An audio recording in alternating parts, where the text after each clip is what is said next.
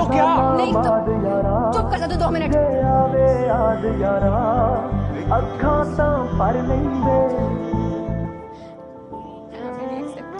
आँखों वक्त तो हो जाना गल पक्की है। बस सब्र जा कर लेंगे